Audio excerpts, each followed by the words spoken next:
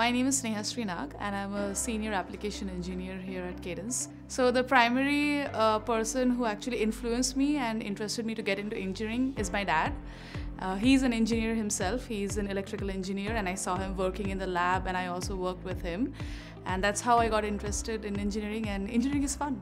So it's a rapidly changing field and you always need to learn and develop yourself. At any point of time, you cannot be laid back and think that, okay, I know it all. So it's learning and constant improvement. So the technologies that I feel have had the greatest impact on the world are wireless devices, autonomous cars, the World Wide Web.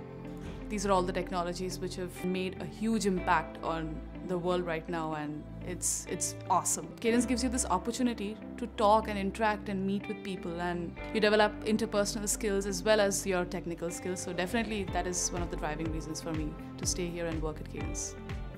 For us to encourage more women to choose careers in STEM field, we should definitely make them aware of what the future is going to look like, what which career and which job they can go for after they have the degree in engineering. Enjoy the learning process because once you get it and once you're able to solve a problem you you have the sense of pride within you which will give you amazing joy and yes just keep practicing keep practicing and keep so lastly i would like to say to all the women who are in the field of uh, engineering and stem and uh, who want to be who want to pursue a career in stem that uh, you get an amazing sense of achievement and empowerment. You get a feel that yes, you are a part of this technology and you have contributed towards uh, building the technology. So there's an amazing sense of empowerment and pride that you have. There are also so many women conferences where you meet these amazing people and amazing women and that also grows a lot of confidence in you and that gives you an amazing sense of pride and empowerment.